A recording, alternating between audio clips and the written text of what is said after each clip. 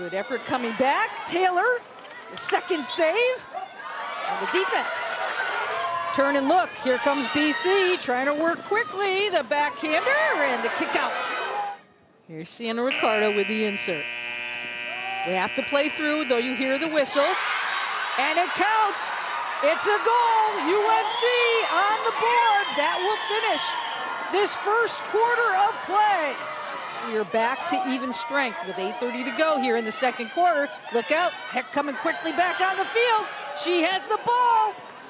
Lets it rip for the goal. Ryleigh Heck off of the green card gives Carolina the 2-0 lead. They set up Hale. Looking for that tip. Wow! Was that a backline save by Smith? I believe so.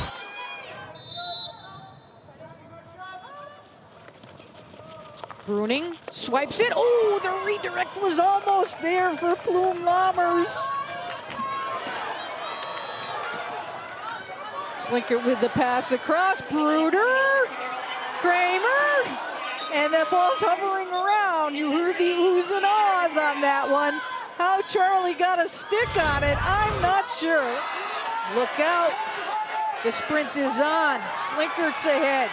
Smolinar's ahead with Kramer, the backhander for the goal. And the Tar Heels are up 3-0. Wow. She does. And Hawk cannot be stopped for the put away and the goal for the Tar Heels, an insurance goal with 109 to go in the match.